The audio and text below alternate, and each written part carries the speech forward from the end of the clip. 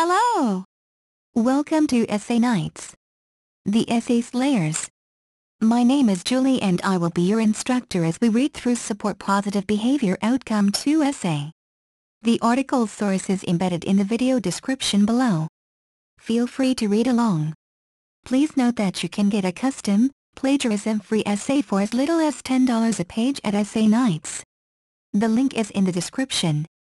2.1 Describe the benefits of encouraging and rewarding positive behavior.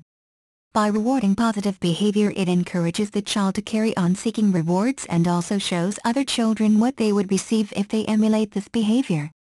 This in turn will make the classroom experience much more pleasant for all children and staff and, therefore, enable the teachers and teaching assistants to teach a lesson without any disruption from inappropriate behavior.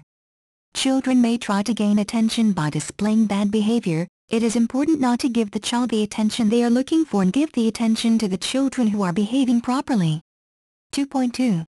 Apply skills and techniques for supporting and encouraging children and young people's positive behavior.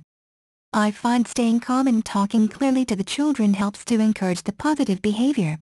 I also find distraction techniques work well in the nursery setting. For example, one child wanting a toy another child is playing with.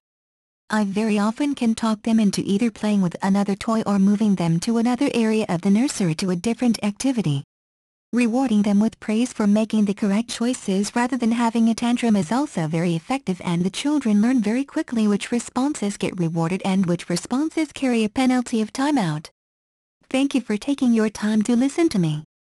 I hope you enjoyed learning about support positive behavior outcome to essay as much as I did. Kindly remember that you can get a custom, plagiarism-free essay at Essay Knights for as little as little as $10. The link is in the description. See you next time.